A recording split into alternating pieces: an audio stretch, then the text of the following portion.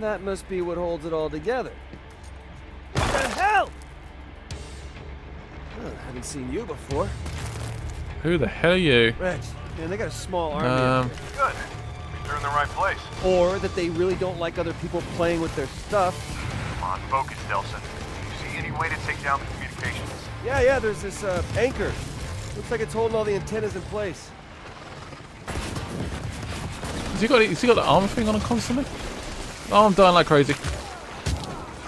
Yeah, I didn't don't like the shield, did you? I'm losing like a lot of health here. Um, just gonna keep running, keep running around. It's all good. It's all good. I need some more missiles. Do you have any smoke anywhere? Please. I need some smoke. Please give me smoke. Woo! That works. Hello. Oh, nice. Just slammed his face. He's a chains. I've just punished him. Right, try and take these lesser enemies first.